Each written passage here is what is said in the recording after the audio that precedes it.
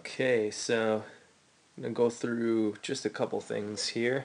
Um, interesting search because Christy said this was her least favorite uh, search to do with Jasper. So, of course, they've got the whole off leash thing where he's doing a little Benny Hill comedy routine, having her chase after him. I have a feeling that uh, he probably would have clicked over to work uh, and stayed off leash, but she didn't want to go through the hassle of that, so she clipped him back on. He works just fine on leash. So uh, now she's got him back on, and we're going to see here he's going to turn back, and he really almost gets to source. He almost gets to source the hide that's up in the top corner of that of that crate and uh, as soon as he gets there it leads him to that high pallet hide and several times he comes back to that crate. He's always drawn to the high pallet so he gets out here and that high pallet hides way up there and that odor's probably drifting and traveling away to some distance and he shows pretty clearly where he catches it on the air and starts working back and and he does this again out in front of the pallets more where Christy's standing. He catches it on the air I think this is where he's going to go back and and check that crate again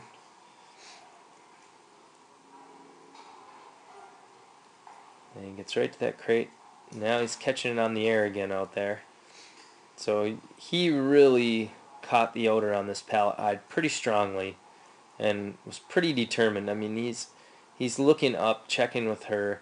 He's now gone on to all three sides, and then he gives his sit. So that's that's about as much as you could ever hope for from your dog when it's when it's way out of reach like that.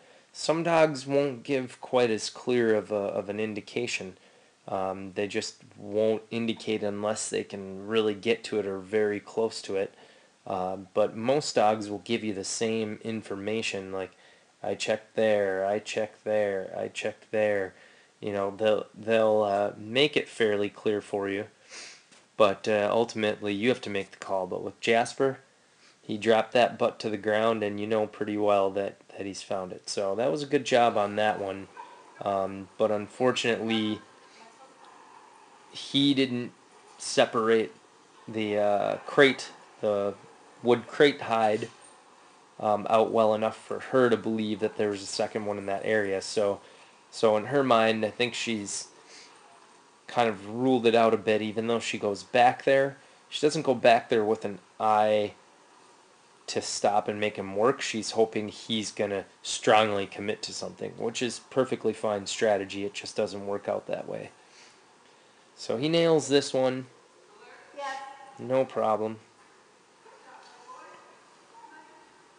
And in these in these aisles between the uh, shrink wrapped pallets of stuff, which I think are like solar panel parts, module stuff, uh, the two of them have a little bit of trouble figuring out who's going first, who's going second. Um, you know, he's a lab. He likes to spin and change direction and and you know be out front, be behind. And so in this confined space, it's a little trickier.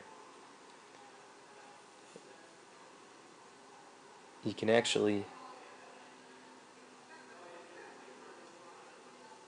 can almost hear her. Yeah, she calls her alert just before she called alert, which it's on on this side of the aisle, about halfway up um, in the plastic wrap on the pallet.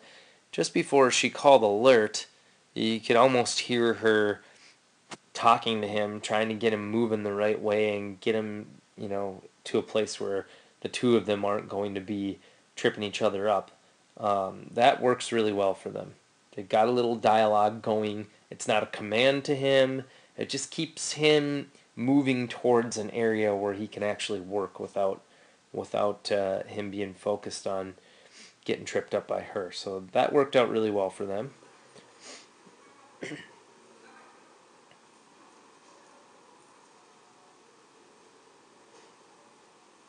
So other than the uh, wood wood crate, the shipping crate that they miss, way back against the wall, far far in the corner over there uh, is the other hide that they missed.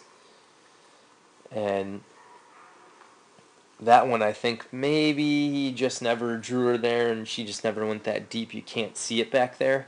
Or maybe he got close, she took him there, and he just decided he was going to snap into the aisle and get that one in the aisle. So now they really nicely clear that other aisle. Those two aisles should be completely done. They've been down and back on those, and there was he really showed showed nothing, uh, unlike the the shipping crate. So they should be completely done, but for whatever reason, tough tough search area to keep your head on straight. You know they go back and spend a little time in there, just like spending time time in this area they're at now. Should probably be completely done with that one. Um, that he he's just done a really nice job of of uh, sourcing that stuff. She follows him here, which is great, but really he's just still glued onto this hide.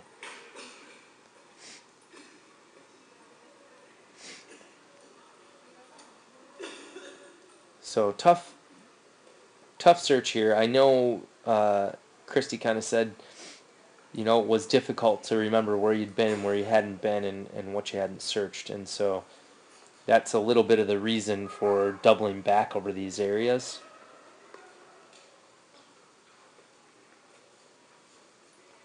But like I mentioned before, uh, this would be a search in half the time um, if they didn't double back over some of these areas.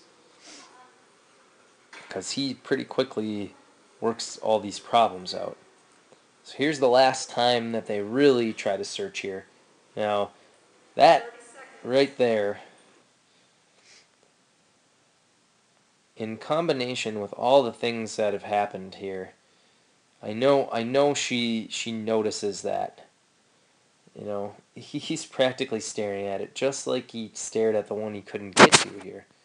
So this is where the strategy like like at the forklift moat area um, should maybe become second nature. Hey I know I've found one over here that's close. I also see interest that's not related to that one. I mean he he's been sniffing in areas like he got into this corner and hooked around that way earlier um, very sharply.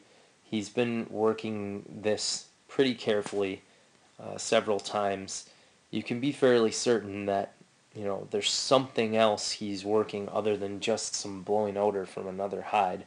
So this is a, a case where maybe you should tighten up on the leash a little, maybe you should slow him down a little, um, and try to try to work that area a little more. And what she does do is give him another pass,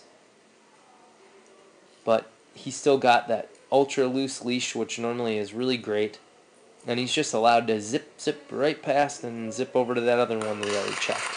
So, still a great performance, clapping well deserved. Um, you know, this is just one of those cases of of a team that's got so many things going for them, and now it's just, you know, you take the fine tooth comb and figure out those little things that you can you can look at and, and try to adjust and improve on, and that's a good place to be in. So another great search.